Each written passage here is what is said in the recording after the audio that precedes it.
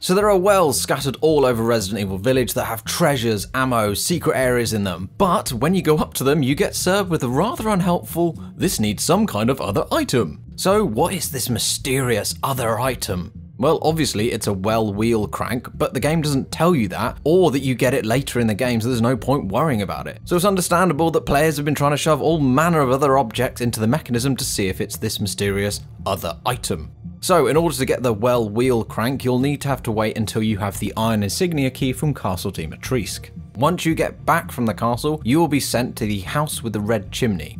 On your way there, you'll have to open the locked gate with the iron insignia key and then climb a ladder. But before you go up, go inside the house until you can go no further and you'll see the wheel well on the wooden barrel in front of you. Don't worry if you've missed it though, you can come back to this area later on. Once you have it, you can use it to raise all the buckets in the wells. Yay!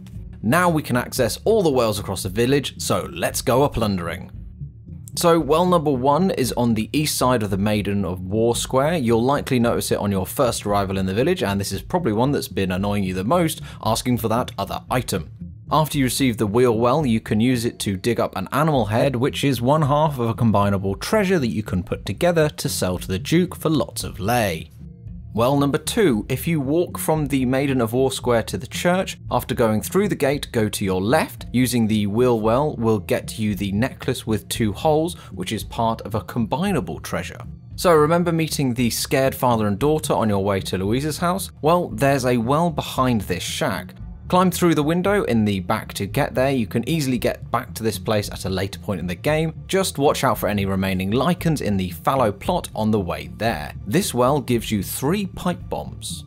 Well, number four, go to the West Old Town. You can pass through the big house at the edge of the town or walk around. This well rewards you with a lockpick.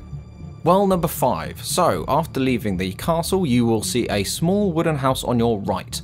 Go through the window at the back to find the well. You can't open it the first time you're there, so come back later after collecting the well wheel by taking the boat from the Lone Road, which you can access once you have the crank from Moreau's reservoir. So you're probably going to have to wait until you've done Moreau to do this bit. This well is a little bit different. Instead of just giving you an item, the well wheel will bring up a ladder. You need to go down to get your loot. When you arrive at the bottom of the well, go up to the platforms and push the buttons on the device until they're all green.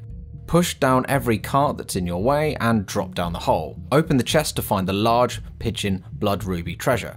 Oh, and before you leave, look around to get some bombs and ammo as well. Well number 6, this well is located next to the gardener's cottage on the way to House Beneviento. When you arrive at the cottage, go to the left. This well contains Maddalena. It's part of a combinable treasure which you can sell to the Duke for lei. Well number 7, go to Moreau's lab after finishing the reservoir section of the story. Then take the long narrow path on the left after passing the second building. Watch out for enemies in this location, especially the big lycan. You will receive 3 flashbang bullets from this well. If this helped you out, why don't you check out our other Resident Evil Village guides, like how to make loads of money early in the game, and how to solve the Fiendish Bell puzzle.